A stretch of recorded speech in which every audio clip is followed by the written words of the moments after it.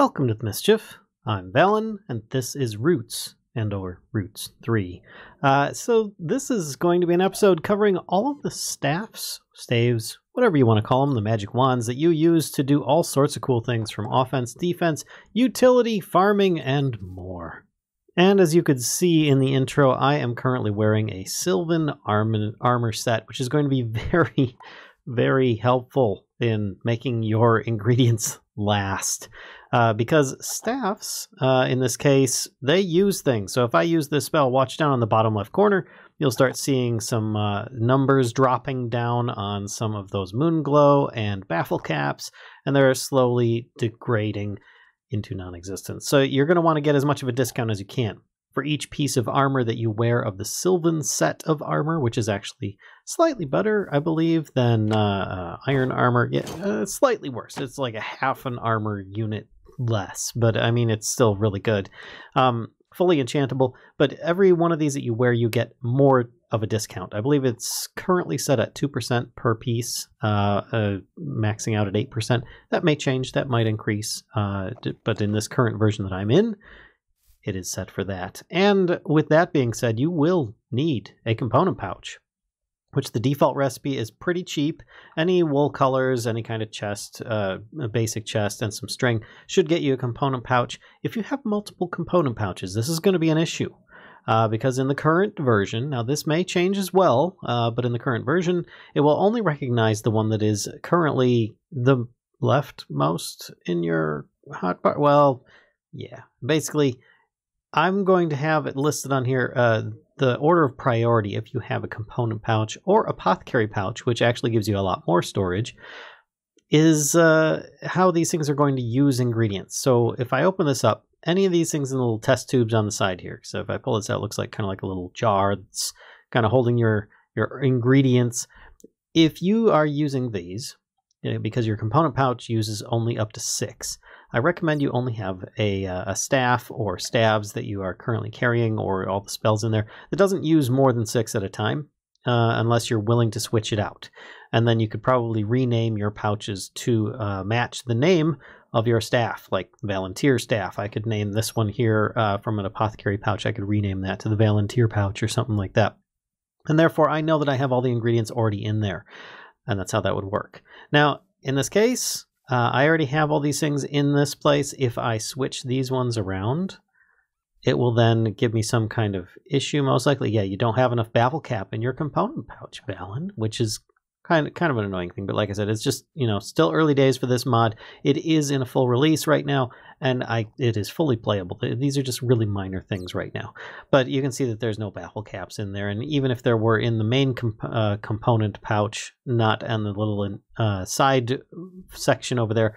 It wouldn't really, uh, it wouldn't actually recognize that. It doesn't recognize them in your inventory either. It has to be in some kind of uh, pouch over here, which is the apothecary one, once again, is probably really well worthwhile if you can get it because you're going to want to carry as many of these things as possible. Now, um, if you look here, having it on your hotbar from left to right is the highest importance to lowest importance. So it will use this apothecary pouch before this component pouch. If I switch these around, it will use the component pouch before the apothecary pouch. That's pretty much what I'm talking about with the priority for this. And then it will also work in this order going across the top here then it will continue on the second row, and then it will continue on with the third row. And that should be the priority for uh, how it looks for things in an inventory if you're curious about that. Now let's get on to the good stuff because I'm I'm tired of just jawing on about that boring stuff there. Let's let's play around with these staffs. Now I separated them up into a few categories. Some of them might overlap slightly into the others, but there's more or less offense, defense, utility, as well as farming and some of the some of the utility and farming might actually overlap a little bit. But uh, yeah, if you have one of these, some runic dust, which you just take some runestone and you smash it up in a, uh, a, mortar and pestle, you get some of this stuff. You can clear off items on your staff. In this case, I've got a grove suppl supplication spell. Hooray! I am never going to need to use that again because I got myself gro uh, one of these grove stones and I'm not worried about it. So what you do is you take some of that runic dust, you put your uh, staff that you want to clear off of there instead of having to create a new one. You can then reuse it, or if you have it in a really weird order that's bugging the heck out of you, you can clear it off and then uh, redo it. This way you, you know, you can still reuse it. Though I will admit a staff is really cheap to make, so it's probably just better to make yourself a new staff. But there you go. I now have an empty an empty staff and it says selected slot 1, no spell. That's that's pretty much it. But uh, let's let's get that one out of here let's get into some of the cool stuff. We're going to cover, uh, let's go with the utility first, work our way over to uh, farming, defense, and offense, because some of the some of these ones are really cool just in general. Um, now, let's start all the way back here. We currently have Fey Light. This one is excellent for these little glowy bulbs that you see in the air. As you can tell, there is a bounding box, so I could actually, you know, break it very simply. I am in survival, so if I right click, I can place one. It will randomly change to some faded rainbow colors over time, but all you need to do is just punch it once and it goes away.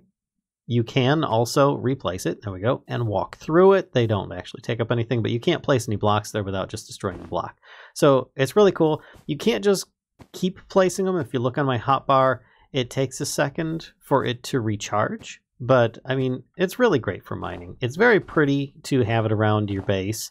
As you can see here, I currently have several just kind of floating up and around the, the trees. It really does give your grove a magical presence, and it, it's a really cheap spell altogether. I am not going to be going over the recipes because they do tend to change, with this being a, uh, well, more or less uh, a mod always being updated. I mean, it is regularly updated. Uh, they're, they're not hesitating on this. But if you so desire, just go to here, the spell recipes tab. You can always look it up in the entry index, but you just click on here. You can see how each of them are made. Uh, I mean, the one that I just did there, Fey Light, you can just take these ingredients, smash them up in a mortar and pestle, same as with any of them, and then you can get the other ingredients. The only exception to this is that there are some few that you can actually upgrade. In this case, I will click here on Iced Touch, which we will cover briefly, but you can make it and so on and, and grant this ability on here. But if you see there's another page, you then can also infuse that uh, spell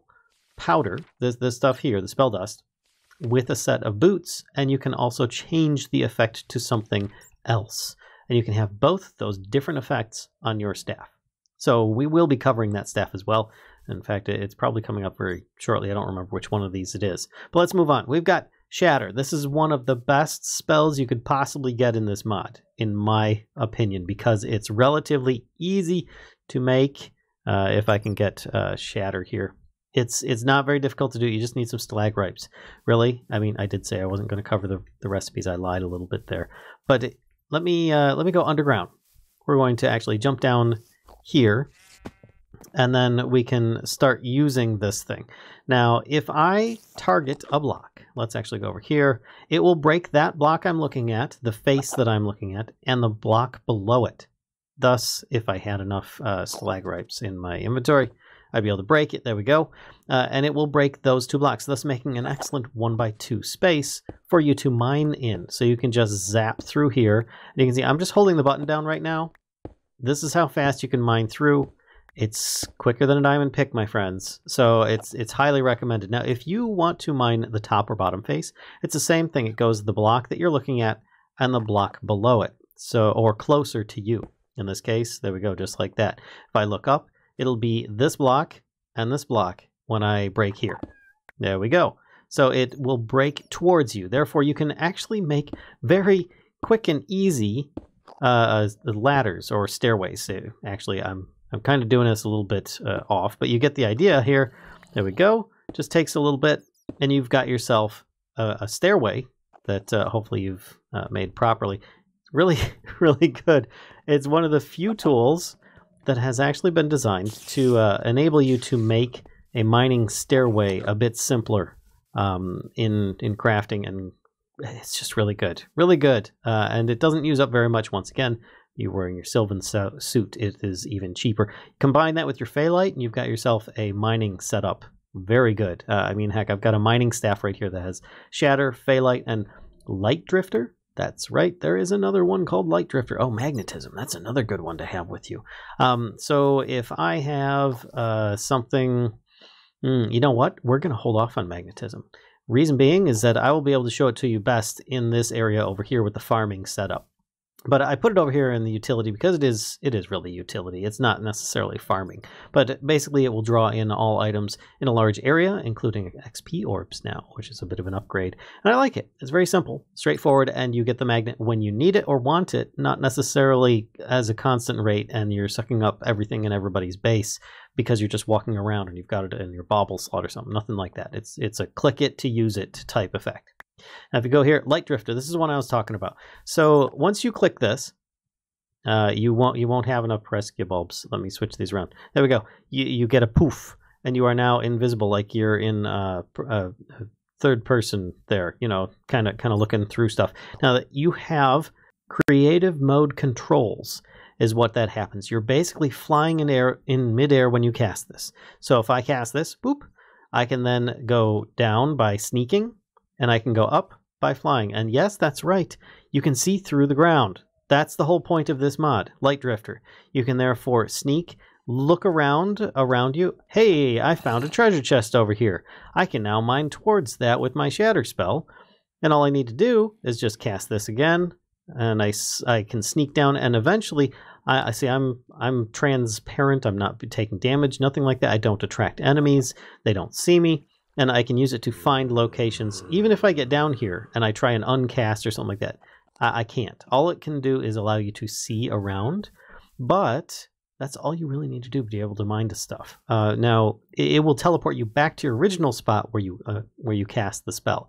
So if you want to see what is in this hut before you go into it, you can do so. Oh, look at that. There's a neat, neat, little little bed in here. And then you don't need to worry about getting ambushed by mobs or traps or something like that. So it, it's really cool, really uh, uh, effective, especially if you take it along with a shatter spell, a fey light spell, and a magnetism spell. So it, it's just really, really good. Moving on, we've got sense danger. Let's see, are there any mobs nearby? Yes, yes, there are. There's a lot of mobs nearby. That's that's sense danger. Basically, it's just good like that. Now let's see here. Oh, sense animals. Do we have any animals nearby? Yes, yes, we do. In fact, they're all over the place. and between the two of them, you can sense just about everything. Uh, I don't I don't think that it works on players, but I mean, heck, uh, it's pretty darn cool, and it gives you the option to easily find things if you're looking for like a cow or something like that, and all you're seeing are red dots on your like uh, your little mini map up here in the corner or something. And you want to know if if there's any kind of critters, or you don't even have a mini map. You could use that to more easily find the animals or mobs that you're looking for, or just be aware that there is 250 skeletons just over there uh, that that are trying that a, a, spawner has not shut off for some reason. You know, whatever. So, Sky Soarer. This one here will kill you. You have been warned, but it's a really good one because you will fly in the direction that you aim for a few seconds, just like this. Now you notice it ended as I was over top of something, nothing, and fell and hit the ground. So if I want, I'm I'm basically let's let's actually see if I can do this. Whee! Yeah. So you you can use it to fly up, and sort of like in Terraria, you can use it to fly down too. Uh, like if you're using one of those uh, grappling hooks or something. So if I aim down, I can safely land with this option. So that's something to take into account. If you want to, let's actually aim here. You can use it effectively to gain uh, height. You can use it to fly, though there is a brief period where you won't be able to use it. So you're going to want to be very aware of that. Once you get very close to the ground, you use it for a safe landing. So this can save you from a really harsh fall, but it can also get you up very high distances. It just takes a little bit of practice. So be careful because it will kill you. Let's move on to the next one. Second wind. This one here is very simple, but yet really helpful. If ever you wanted to go under in uh, water area, you notice my air bubbles are currently dro dropping down. Well, you just click this. And hey, look at that. I got all my air bubbles back you don't need to worry about drowning in the water anymore. That's it. It's a very simple uh, spell, very specialized, but it's excellent for underwater exploration. Moving on, we've got Iced Touch. Now, this one here is one of the ones that I had originally mentioned. I have two levels of it. I have Ice Touch 1 and Ice Touch 2. Ice Touch 1. This is going to have a very simple effect of turning water and lava, uh, once this thing has, has recharged, which it takes a second, into obsidian. There you go. That That's pretty much it. It's very basic. If you do the upgrade where you infuse some iron boots onto the spell powder, it will turn into a much more powerful version, uh, but it is not highly targetable like this version is here. Instead, you get a cloud effect around you, and you gain, therefore, kind of a, a, uh, a water walk feature where you will turn things into obsidian or ice as you walk around. So just be aware that that will last quite a while as well. Uh, I think, yeah, it's still going on there. So yeah, and you have a freeze effect on your inventory if you do want to see how long it will last on your person. But it's pretty darn cool for traveling across water. Obviously, the spell recharges before it runs out, so you can easily keep recasting it and travel long distances on uh, uh, water bodies or just use it to transform uh, obsidian, things like that. It might even be good on your uh, mining setup so that you can just automatically freeze obsidian. You don't need to bring water along in this case. You can just, you know, kind of freeze it automatically. So let's move on to the farming stuff. I did mention the magnetism spell. Keep that in mind. We're going to be checking that out in just a moment here. But we have here, uh, no, we don't want that one. We want this one, harvest. Okay, now this one is very key. And I'm actually going to go out into the, like a third person view so you can see this when I cast it. Ready? So I'm going to cast Harvest. Boom. it's quite a lot of stuff. So here, here's the other thing here is that um, I, I don't have any other spells in here. And yes, you can hold up to five spells on each one. But if you look, I have Magnetism on the side of this other spell staff here. So let's switch to Magnetism. And now, when I look at this and I click all that stuff just went in my inventory. Pow. I just harvested all the Pereskia and the bulbs, the spirit herb seeds and the spirit herbs. That that was that was very effective, very quick. Love it. Uh, I, I highly recommend you put magnetism and harvest on the same staff. Now, on top of that, if you wanted to specially just grow one item at a time, uh, growth infusion. Actually, I, I still have that harvest staff. I think I put down the wrong staff here. Let me grab this. Yeah, I did. There we go. Uh, if you want to grow one thing at a time, growth infusion is good for you. It doesn't use up very much terra moss, and it's it's effective. So just grow, and there you go. Just point and hold. I have a click to harvest right now, so that's a little bit of a concern. But it will actually uh, go further than you can you know so i could feasibly like aim at specific areas over here and therefore individually grow this stuff. But if you want something a bit more oh i don't know beefy let's go with rampant growth. And if you look here let's look and bring that up. So if i hold the button down i will start doing a massive area effect growth spell on all this stuff. Now, this is just what I have currently set up. It, it may reach a little further than what I've got, but still just the same. the ingredients for this spell are currently in this field. Yeah, and it, it only uses up a very tiny fraction to uh, to get this. So you could easily just pop a few of the ingredients in the field, and therefore uh, you can automatically replenish that in your stores very simply. Now, in the center here, I have a staff. This is my uh, specialized farming staff. Farmer's Bounty is what I'm calling it, where it does rampant growth, harvest, and magnetism. So right now it is on harvest. So all I need to do is look up, and uh, just so you guys can see what's going on, I click this, harvest, sneak right click, magnet, sneak right click, and then I can uh, grow everything back into place again and repeat. And therefore, I have turned myself into a one man automated massive farming machine. So it's a really, really good effect. And I highly recommend that you make the Farmer's Bounty staff, which, which is what I'm calling it. Uh, copyright TM, all that stuff. No, I'm kidding. You, you can you can just make it whatever you want it to be. Uh, all right, so let's get going on the next part. We, we covered utility. We covered farming. Let's cover defense. Defense. What? Petal shell. This one here has a, a, a small visual glitch. You will see it activate. There we go. But that's it. In early versions of this mod, it actually worked properly. There is currently still a visual glitch. It will probably be fixed in uh, future versions, uh, where you have like uh, if you ever played Mario Kart, you'll have like little circular, uh, little like instead of turtle shells, you'll have petals floating around you, and it works just like those. Where if something attacks you, uh, instead of you being attacked, that shell will take the damage uh, for you. So there, I just cast that, and it lasts for a few hits whatnot. Yeah, you stay down there. Okay, so that's the idea on that one. It gives you a little bit of a, a few hits on defense. It lasts for quite a while. Now let's continue on with Sanctuary. Sanctuary kind of gives you like breathing space. Uh, now you notice this guy here.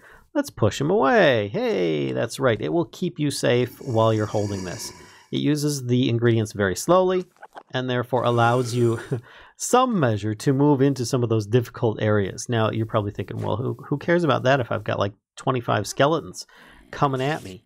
What do I do? Uh, well, let me get some redstone. There we go. And I can connect this. And then I've got my automated arrow shooting machine. So I hold this and it will reflect projectiles just like that. Pretty simple, pretty basic. Uh, so it works on uh, keeping mobs away, keeps on uh, protecting you from projectiles. It's really nice. Really nice. Petal shell. Uh, if you wanted to have a little bit of a defense there. Somebody's like totally just wrecking you, your face with some kind of uh, super bow. Don't worry, I've got stuff for you in a minute. We're, we're not to the offensive stuff yet. Dandelion winds. this one's just fun. Whee! You can, whoops, I threw the armor stand there. But you can use it to kind of uh, uh, launch these guys around. There we go. And they might be able to take, you know, some uh, damage from falling or something like that. Woo, that was a good one. You just got to be careful with right click because you might. yeah, I'm I'm missing because I'm harvesting stuff at the same time. There we go. Let's just throw you a little bit further down this hole here. There we go. Bye. All right, let's get on to some more staffs. All right, this one here is guys, this one here doesn't actually uh, work in the current version. It will in future versions, I, I swear. I will even show you what it looks like. Uh, here, I'll put this in here. Oh, great, it's on a baby zombie. But what it will do is that. That's the effect, so you know that this mob will stop attacking you is what happens. But currently, I in, in my current version that I have, there's a glitch where they attack me anyway. But that that's the idea of it. It is uh, giving them some kind of uh, guise to follow instead of attacking you. Let's move on. Time stop. Okay, so you've got a whole bunch of mobs. Your hotbar is just a mess, or your inventory is a mess, or something, and you need a moment to breathe. Let's cast. Oh, I can't. I can't cast that because I just clicked the wrong one. Let's click stop. Oh, thank goodness. Okay, let me switch this to another spell and then I can just kill these guys off real quick.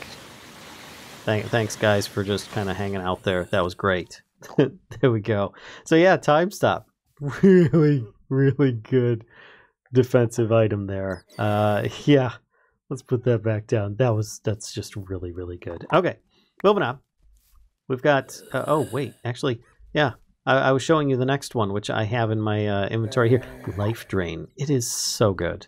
It is so, so good. Let me uh, allow, uh, let me show you how this works. Now, first, I, I do need to have a little snack because my food is getting a bit low for my likes. But if you have one target, you use Life Drain. It will hurt him quite a bit, push him away at the same time, eventually take him out. It will replenish your health bar slowly. If you have a whole bunch of bad guys and you sweep across, it will replenish your health bar very fast. And they don't have to be bad guys. You can do this with just passive animals as well. But it's a really good spell. Really good. It uses baffle caps though. So I recommend uh, if you want to grow baffle caps, which yes you can, use some of the uh, the, the spells up here. I believe uh, uh which one is it? This one, rampant growth, I think. Growth infusion can help to grow these uh, a bit more if you wanted to try and grow a full-size one down here. Get out of here, spider. I don't want any of your lip. Uh, but you can grow one of these big ones and in safe area, harvest that up and get yourself a whole bunch of baffle caps. That's what I highly recommend you end up doing so that you can get yourself all the ingredients for the life drain spell, which is really, really good. Uh, what I'm calling the uh, Volunteer staff. So let's move on, get some of this stuff out of my inventory, and uh, I'll be right back. All right, what else do we have? We've got here Wildfire. Wildfire is pretty good. Uh, it's had a little bit of a change since it was originally made. Uh, now if I place down here, I'm just holding the button down. It's it's like a bit of a flamethrower effect. It's similar to Life Drain in its damage and how it's used. Uh, so once again, place it down. Best if you like use it in a sweeping motion on groups of enemies. So it will hurt them with damage and burn them as well. So you can have several and you can just burn them off like this but there is a bit of a gap between there. It does do a bit more damage than uh, Life Drain as well, as it should, because it's it doesn't have that special effect. But there you go, Wildfire. Moving on here, we've got Rose's Thorns. This one here is very unique. Um, I don't know if it's defense or offense, but it, it does kill things. So it's a trap. You can set traps. It doesn't do like a ring of of no, no, no, no. You can set traps with this thing. It's really good. It's really, really good. So you can do this, do this. There you go. We've got all these little sparkles here. So if I place down a husk over here and lure him into these, he will take them, he will get poisoned, and he will eventually die. Because it also does contact damage at the same time. It's really good. And they last for quite a while, in fact. Um, I also realize now that I, I still have a few of these left. Yes, there aren't many left. Radiance. Okay, Radiance is the ultimate in pew pew mastery. If you want to be able to just take out any kind of mobs, specifically undead, it will just make short work of them. This is this is the staff for you. It is ridiculous with um, its its effects. Do some of this and I'll just shoot these guys like ridiculous. Ah, it's it's good. it it kills them very quickly. It's also good in a sweeping motion, um, but it works just fine on single targets as well. Uh, uh, like I said, it's also especially good on undead. So yeah, there's your wither, wither killer right there because you're going to want to be able to shoot this thing a good distance, and it'll go a little bit further than the others. Um, now. We've got special staffs here. Acid Cloud, level 1, which is what I have in my hand, and Acid Cloud level 2, which is what I have over there. So, Acid Cloud 1. This will create uh, as you hold it down, because this is a constantly being used item. Uh, in fact, let me look up at the camera like this. So I can hold it, I create this little like green acid cloud around me. So if I toss down one of these little husks, and I can it will actually keep them at bay and also do damage. Pretty good. So I recommend you go for the upgraded version though, because it's just that much more effective. So let's put this down here, and I can use it. And look, he catches on fire and takes the acid damage in an area. It's a defensive offensive spell. It's really strong. It, it will it will wreck a lot of zombies very easily. Let me put down a bunch of these guys here. I'll be right back. Okay, that should be pretty good. I don't. I have this armor on, but I've also got this group of zombies down here. Let's just jump right in, shall we? Hey, all of you must die! Yeah, okay. And they're dead. Now, of course, you know, the drawback of setting them all on fire is that if they hit you, you can be set on fire. So take that as you will if you want your fire version or non-fire version. It's a very simple upgrade to make. And that pretty much covers all of these really, really cool, fantastic staffs. Uh, now, I made a few myself that uh, I liked, and I'm going to recommend some of them to you as well. I have three of them. Get out of my inventory. I have three of them specifically that I want to share with you guys. So let me grab all of those, and I'll be right back. All right, so just real quick, the uh, spell staffs that I'm going to suggest just for general use is going to be the Farmer's Bounty which is going to have magnetism, harvest, and rampant growth on it. Don't do what I did here. Make sure you put uh, harvest before magnetism. It just makes it that much easier when you're cycling through this stuff. Uh, so I recommend it being harvest, then magnetism, then rampant growth, just so that when you cycle through these, it's a little bit easier and fluid, so that you can become your uh, own auto farmer in very large, massive areas. Another one is a simple mining staff with Shatter, Fey Light, and Light Drifter. You can put more on here very easily, but just remember it's more things you're going to have to cycle through. I think I might actually rather have another staff uh, at that point because between Shatter and using it several times, then placing a light, on occasion using Light Drifter, so I'd have to cycle through a couple more times to get back there, it just becomes that much more monotonous if you have too many items on a staff as it is uh, especially if you're going to be using Shatter almost all the time. Light occasionally and Light Drifter rarely. Moving on from that, we've got this one. It's just simple life drain and magnetism. That's that's a really good one. If you want to add in some more heavy duty offensive effects, defensive effects, whatever, feel free. But the Volunteer staff can't go wrong. Uh, no, you cannot just with some plain armor like this and no enchantments and the life drain staff take on the uh, wither boss. Uh, I, I, tested that. You probably are better off with something more like a staff of radiance uh, for uh, wither killing. But um, yeah, it it's still really good nonetheless. If you have alternate means of defense, or if you're actually dodging, I mean, I was just standing there and trying it. it, will kill you. as it should. If I have uh, protection four on here, I'm sure I'd be just fine because the life drain was pretty much offsetting the wither uh, damage. It was just not being able to keep up with the uh, damage from the explosive blasts before. But I think that with an enchanted set of armor, I think I could take him. So I hope you guys have enjoyed this a uh, little bit by bit on Roots. Uh, this is probably going to be the last of the uh, introduction series, so as the mod gets updated, I might do further videos. If you have enjoyed this, please be sure to give a like, comment, subscribe, and be sure to thank the mod devs for uh, bringing this forward to future versions of Minecraft. It is one of my favorites. Thank you, and I'll see you guys most nights around 10 p.m. on Twitch. Come visit us there. Till next time, folks, I'll see ya.